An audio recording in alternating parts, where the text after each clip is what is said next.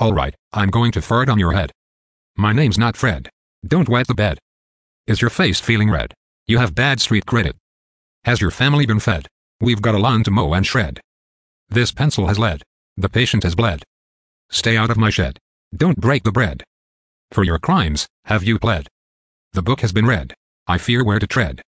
Lord Zed. The lesbians have been wed. The world is corrupted. My bear likes to be called Ted. Hasn't enough said.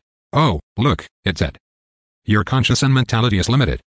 You do not know everything of the world, and perfection of anything is only a grand illusion in your head.